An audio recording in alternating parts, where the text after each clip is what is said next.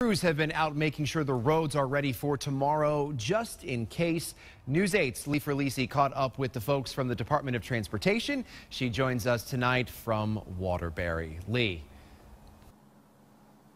Hi, Brian. Good evening, everyone. We are in Waterbury. The snow had stopped, but we are just starting to see a few flakes coming down through the air again. Take a look at the sidewalk here that's been accumulating here in Waterbury, and you can see the snow on the sidewalk here on the street. It's a different story. They've really been working hard to clear these streets. We've been watching the snow plows come up and down, spraying the roads. Plows are down to remove whatever's been accumulated. Take a look at Waterbury about two hours ago where the snow was falling at a much harder clip.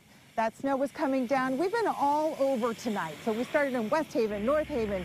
We were here in Waterbury and we've been up and down the highways. We've been seeing plows out on the highways, on the side streets. Inside those trucks is a mix. They have salt and then they also have magnesium chloride and that mixture is being sprayed on the streets in order to prevent freezing.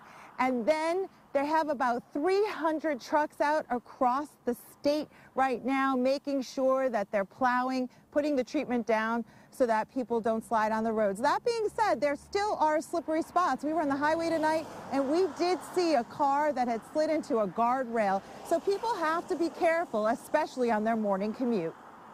Tomorrow's rush hour might be a little tricky. I mean, a Monday morning commute is always a tough one with snow. But, uh, you know, if everybody just leaves a little early, uh, leaves everybody some room, themselves and other vehicles some room, and our truck some room, everybody should be fine. All right, here's what everybody wants to know. Can you make a snowball? We're looking at this snow, and it is nice and powdery. Not good enough for a snowball yet, but still good for some fun. We're live in Waterbury. Lee Ferlisi, News 8. Lee